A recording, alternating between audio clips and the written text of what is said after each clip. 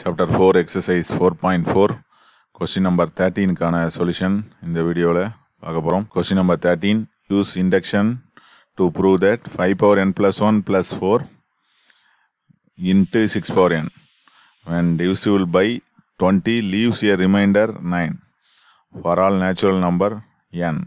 தொகுத்தறிதலை பயன்படுத்தி எல்லா இயலெண்கள் எண்ணுக்கும் five power n plus one plus four into six power எண்ணை இருபதால் வகுக்க கிடைக்கும் மீதி வந்து ஒன்பது என நிரூபிக்கணும். அப்போ இதை வந்து இருபதால் வகுக்கும் போது கிடைக்கக்கூடிய ரிமைண்டர் வந்து நைன் மீதி வந்து ஒன்பது அப்படின்னு நம்ம நிரூபிக்கணும் அப்படின்னு சொல்லியிருக்காங்க. கொஞ்சம் வித்தியாசமான கணக்காக இருக்குது இது வரைக்கும் பார்த்தது வந்து மொத கணக்கில் பார்த்தோம்னா மூணால் வகுப்படும். எக்ஸ் ப்ளஸ் ஒய்யால் வகுக்க வகுப்படும் அப்படின்னு சொல்லிட்டு நம்ம பார்த்தோம். இந்த கணக்கு வந்து ரியூசர் ரிமைண்டர் நைன் கொடுத்துருக்காங்க. அதனால் கொஞ்சம் கவனமாக நம்ம வந்து இந்த கணக்கு வந்து பார்க்கணும். ஃபஸ்ட்டு கிவன் ஸ்டேட்மெண்ட் இந்த given statement is P of n P of n எடுத்துக்கிறோம். கொடுக்கப்பட்ட கூட்டுரை பி ஆஃப் என் என்கிறோம். அதாவது கொடுக்கப்பட்ட கூட்டுரை என்ன? Five power n plus one plus 4 into 6 power n is divisible by divided by 20 leaves remainder 9 இந்த கூட்டுரை வந்து என்ன எடுத்துக்கிறோம்? பி ஆஃப் என் அப்படின்னு எடுத்துக்கிறோம். பி ஆஃப் என் என்க. அப்படின்னு எடுத்துக்கிறோம். இப்போ நம்ம ஸ்டெப் நம்பர் ஒன் போவோம். படி ஒன்று எல்லா ஏழனுக்கும் கொஸ்டினை கொடுத்ததுனால நம்ம வந்து ஃபஸ்ட்டு என்ன பண்ண போகிறோம் put n equal to one put n equal to one n equal to ஒன்று என பிரதியிட என்ன கிடைக்குன்னு பார்ப்போம். என் ஈக்குவல் டு ஒன்றுன்னு பிரதிக்கிட்டோம்னா ஃபைவ் பவரில் one plus one plus four into six பவரில் ஒன் இது என்ன ஆகும் ஃபைவ் பவர் டூன்னு ஆகிடும் ப்ளஸ் ஃபோர் இன்ட்டு சிக்ஸு அப்படின்னு கிடச்சிடும் ஃபைவ் ஸ்கொயர்டு வந்து twenty five four six are twenty four அப்போ ஃபார்ட்டி நைன் கிடைக்குது. இப்போ ஃபார்ட்டி நைனை வந்து டுவெண்ட்டியால் டிவைட் பண்ணால் என்ன ஆகும் ஃபார்ட்டி நைனை டுவெண்ட்டியால் டிவைட் பண்ணோம்னா டூ டுவெண்ட்டி ஃபார்ட்டி பேலன்ஸ் வந்து எவ்வளோ கிடைக்கும்? நைன் கிடைக்கும். லீவ்ஸ் த ரிமைண்டர் அதான் வகுக்க கிடைக்கும். மீதி வந்து ஒன்பது அப்படின்னு கிடைக்குது. இது நம்ம கணக்கூட பார்க்குறோம். அப்போ இதை எப்படி எழுதலாம் அப்படின்னா two into twenty plus nine அப்படின்னு எழுதலாம். அப்போது two times twenty plus remainder வந்து நைன் கிடைக்குது. அப்போ இதுலேருந்து நமக்கு மீதி ஒன்பது கிடைக்குது. இருபதால் இந்த கொடுக்கப்பட்ட பி ஆஃப் எண்ணை எண்ணுக்கு பதிலாக ஒன்று போட்டதை டுவெண்ட்டியால் டிவைட் பண்ணதாம்னா நமக்கு கிடைக்கக்கூடியது ரிமைண்டர் நைன் கிடைக்குது. அப்போ தேர் ஃபோர் என்னன்னு சொல்லலாம் பி ஆஃப் ஒன் இஸ் ட்ரூன்னு சொல்லலாம் P of one is true அதாவது P of one n equal to one என்பதற்கு கூற்று உண்மையாகிறது. அப்படின்னு நமக்கு கிடைச்சிருது. இப்போ இனிஷியல் ஸ்டேஜ் நம்ம ப்ரூவ் பண்ணியாச்சு. அடுத்தது ஸ்டெப் நம்பர் டூ போகிறோம் படிநிலை ரெண்டில் என்ன எடுத்துக்கிறோம்? Assume that P of k is true assume that P of k is true அதாவது பி ஆஃப் கே என்பது உண்மை என கொள்க. தட் இஸ் எது ட்ரூன்னு எடுத்துக்க போறோம்? எனக்கு பதிலாக k போட்டுக்கோம் five power k plus one four into six power k என்பது இருபதால் வகுக்க மீதி வந்து மீதி ஒன்பது வரும் அப்படிங்கிறத உண்மைன்னு எடுத்துக்கிறோம். கே வரைக்கும் உண்மைன்னு எடுத்துக்கிறோம். இது divisible by twenty leaves the remainder nine அப்படின்னு நம்ம இது வந்து ட்ரூன்னு எடுத்துக்கிறோம். அப்போ இது ட்ரூன்னு எடுத்துக்கிறோம்னா இதை வந்து நம்ம யூஸ் பண்ணுறது கொஞ்சம் சிரமமாக இருக்கனால இதை வந்து ஏதாவது ஒரு லெட்டர் கன்வெர்ட் பண்ணி நம்ம வச்சுக்குவோம். இப்போ கே வரைக்கும் இது உண்பது என்பது உண்மைன்னு வச்சுக்கிறோம். உண்மை என்க அப்படின்னு எடுத்துக்கிறோம். கே வரைக்கும். அதாவது இது நமக்கு எடுத்துக்கிட்டோம்னா கொஞ்சம் சிரமமாக இருக்குது அப்படிங்கிறதுனால சம் இதை என்ன பண்ணுகிறோம்? Five power k plus one plus four into six power k equal to for some twenty m plus nine வச்சுக்கிறோம். எம்ங்கிறது என்னென்னு தெரியும் டுவெண்ட்டியால் டிவைட் பண்ணும்போது வரக்கூடிய கோஷன்ட் அது சம் ஃபேக்டராக இருக்கலாம் ப்ளஸ் நைனுங்கிறது ரிமைண்டர் வருது இதுலேருந்து ஏதாவது ஒன்று நம்ம கன்வெர்ட் பண்ணி வச்சுக்கோம் அப்போது இதுலேருந்து five power k plus one equal to என்னென்னா மிச்சத்தெல்லாம் அந்த பக்கம் அனுப்பிடுவோம் twenty m plus nine minus four into six power k அப்படின்னு எடுத்துக்கோம் இதே ஈக்குவேஷன் நம்பர் ஒன்றுன்னு எடுத்துக்கோம் இது உண்மைன்னு எடுத்துக்கிறோம் இதை தான் நம்ம வந்து ஸ்டெப் நம்பர் த்ரீயில் யூஸ் பண்ண போகிறோம் அடுத்த step number three to prove P of k plus one is true அதாவது பி ஆஃப் கே பிளஸ் ஒன்னுக்கு இந்த கூற்று வந்து உண்மை என நிறுவனம் என் டு கே பிளஸ் ஒன்று இந்த கூற்று உண்மை என நிறுவ வேண்டும். தட் இஸ் டு ப்ரூவ் என்ன?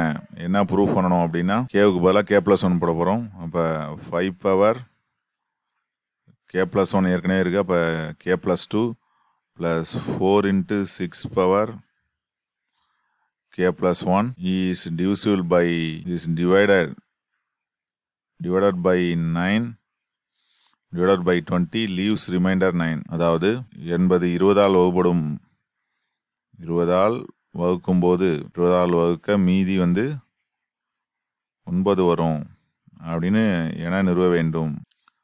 இப்போ இருபதால் வகுக்க கிடைக்கும் மீதி வந்து ஒன்பதுன்னு நம்ம நிரூபிக்கணும். அப்போ அதுக்கு என்ன பண்ணுறோம் எல்ஹெச்எஸ் எடுத்துக்கிறோம். எல்ஹெச்எஸ் நீங்கள் எதுவும் கிடையாது. அதனால் அப்படியே எடுத்துக்கிறோம். ஃபைவ் பவர் கே ப்ளஸ் ஒன்னுக்கு பதிலாக கே ப்ளஸ் டூ இருக்குது plus four into six power k plus one equal to k plus one plus ஒன்னு பிரிச்சுக்கலாம்.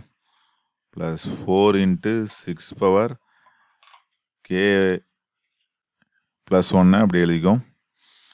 Equal to five power k plus one into ஒரு ஃபைவ்னு ரெண்டு பவராக பிரிச்சுக்கிறோம். Plus four into six power k into ஒரு சிக்ஸாக பிரிச்சுக்கிறோம். இதில் பவரில் ஒன்று இருக்குது. இப்போ ஃபைவ் பவர் கே ப்ளஸ் ஒன்று பதிலாக ஏற்கனவே நம்ம கண்டுபிடிச்சி வச்சுருக்கிற ஈக்குவேஷன் ஒன்று இதில் சப்ஸ்டிட் பண்ணிடுவோம்.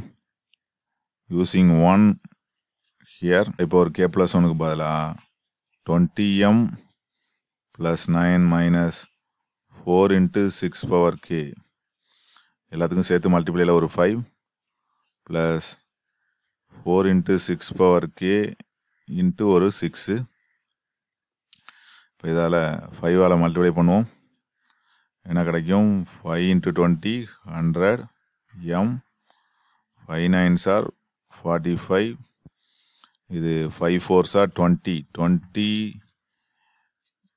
into six power k இது four six are twenty four times six power K எல்லாத்தையும் மல்டிப்ளை பண்ணிடுறோம். இப்போ இதில் பார்த்தோம்னா என்ன கிடைக்குதுன்னா இது twenty four times six four K இது twenty times six four K இதை இதோட என்ன பண்ணிடுறோம் சப்ராக்ட் பண்ணிடலாம் இப்போ டுவெண்ட்டி ஃபோரில் twenty ஃபைவ்னா four into six four k இதெல்லாம் அப்படியே இருக்கும். இப்போ ஹண்ட்ரட் எம் ப்ளஸ் இந்த ஃபார்ட்டி ஃபைவை எப்படி எழுதிக்கிறோம்னா தேர்ட்டி சிக்ஸும் ஒரு நைனும் இந்த தேர்ட்டி சிக்ஸையும் நைனை ஆட் பண்ணால் ஃபார்ட்டி ஃபைவ் வந்துடும் டுவெண்ட்டி ஃபோரில் twenty ஃபைவ்னா four four time six four கேன்னு எழுதிக்கிறோம். இப்போ அடுத்த ஸ்டெப் என்ன பண்ண போகிறோம் அப்படின்னா இது ஹண்ட்ரட் எம் ப்ளஸ் இதில் ஃபோரை காமனாக எடுத்துகிறோம் ஃபோரை காமனாக எடுத்துட்டோம்னா என்ன கிடைக்கும்? நைன் கிடைக்கும். இதில் ஃபோர் இருக்கிறத எடுத்துட்டோம்னா சிக்ஸ் பவர் கே கிடச்சிரும். ப்ளஸ் நைன் கிடைக்கும். இப்போது லீவ்ஸ் த ரிமைண்டர் நைன் வந்துட்டு இப்போ இது டுவெண்ட்டி மல்டிபிளா இதுவும் டுவெண்ட்டி மல்டிபிளாங்கிறத நம்ம சொல்லணும். இது டுவெண்ட்டியோட மல்டிபிள் தான்.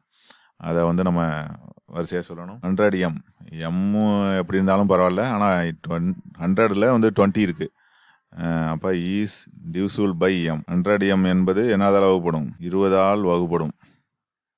ஓகே ரிமைண்டர் தனியாக வந்துட்டு அப்போ ஹண்ட்ரட் எம் இருபதால் வகுப்படும் இது என்ன பண்ணுறது இன்னொன்று டேம் இருக்கு அதுவும் இருபதால் வகுப்படுமா? அப்படிங்கிறத நம்ம சொல்லணும். Four into nine plus six power k அப்படிங்கிறது இருபதால் வகுப்படுமா? நம்ம சப்ஸ்டிட் பண்ணி பார்ப்போம். இதுலேயும் ஒரு மேத்தமெட்டிக்கல் இண்டக்ஷன் மெத்தடில் போட்டு பார்த்தோம்னா நமக்கு தெரியும். சிக்ஸ் பவர் கே கேவுக்கு ஒன்று போட்டோம்னா நைனும் சிக்ஸும் ஃபிஃப்டீன் ஆகிடும் ஃபிஃப்டீன் இன்ட்டு ஃபோர் வந்து சிக்ஸ்டி வந்துடும். சிக்ஸ்டிங்கிறது இருபது அளவுப்படும் டூ போட்டோம்னா thirty six thirty six நைனும் forty five forty five into four எதாக இருந்தாலும் ஃபைவ் டேபிளில் வந்துடுது ஏன்னா சிக்ஸ் பவர் கே வந்து எப்போதுமே வந்து six power k is ending with six six power one வந்து சிக்ஸ் சிக்ஸ் பவர் டூ வந்து thirty six six power three வந்து டூ ஒன் சிக்ஸு அதுவும் சிக்ஸில் வந்து முடியும். அப்போ அதோட நைனை ஆட் பண்ணோம்னா கண்டிப்பாக ஃபைவ்ல வந்துடும் இப்போ ஃபைவ்ல வந்தாலே அது ஃபோர் ஃபைவ்ஸாக டுவெண்ட்டி கண்டிப்பாக டுவெண்ட்டி டேபிளில் வந்துடும் அப்போது இதுலேருந்து நம்ம என்ன சொல்லிடலாம்? நாலு இன்ட்டு ஒம்பது ப்ளஸ் ஆறு பவர் கே அப்படிங்கிறது டிவிசிபிள் பை டுவெண்ட்டி அப்படின்னு சொல்லிடலாம். என்பதும் இருபதால் வகுப்படும்.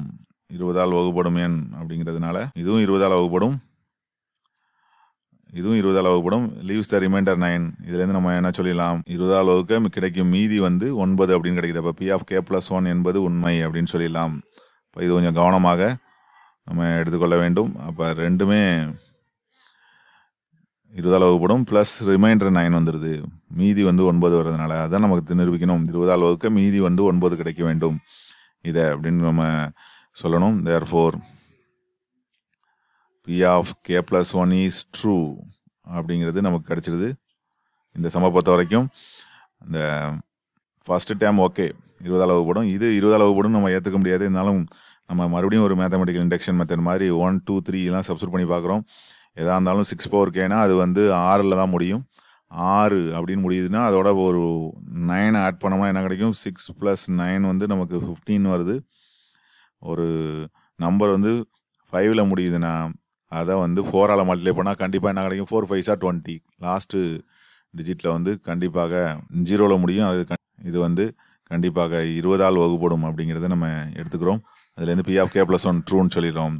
இது தேர்ட் ஸ்டெப் கம்ப்ளீட்டட் அடுத்தது ஃபோர்த் ஸ்டெப் போகிறோம் இப்போ ஸ்டெப் நம்பர் ஃபோர்லேருந்து நம்ம என்ன சொல்லிடலாம்? கொடுக்கப்பட்ட கூற்று பிஎஃப்ங்கிறது எல்லா இயலெண்ணுக்கும் உண்மை என கணித தொகுத்தறிதல் முறையில் நிறுவப்பட்டது. Given statement P of n is true for all n belongs to n this is proved by mathematical induction method கொடுக்கப்பட்ட கூற்றுங்கிறது எல்லாத்துக்கும் ஒத்து வரும் அப்படிங்கிறது அதாவது இருபதால வகுக்க கிடைக்கும் மீதி வந்து ஒன்பது அப்படிங்கிறது எல்லாத்துக்கும் ஒத்து வரும் அப்படிங்கிறத நம்ம இதுலேருந்து எடுத்துக்கிறோம். இந்த சம்மை பொறுத்த வரைக்கும் இந்த பர்டிகுலர் ஸ்டெப்பில் நம்ம வந்து கிடைக்கக்கூடிய இதுலேயும் ஒரு மேத்தமெட்டிக்கல் இண்டக்ஷன் மாதிரி செக் பண்ணி இருபதால் வகுப்படுங்கிறத நம்ம தெரிஞ்சுக்கிறோம். லீவ்ஸ் த ரிமைண்டர் நைனுங்கிறது தானாக நம்ம பிரித்ததுக்கு அப்புறம் அதனால் இந்த சம்மை வந்து கொஞ்சம் அந்த இடத்துல வந்து கவனமாக நம்ம அண்டர்ஸ்டாண்ட் பண்ணணும். மற்றதெல்லாம் மிகவும் எளிதானது தான் இந்த சம் வந்து எக்ஸசைஸில் sum number thirteen thanks for வாட்சிங்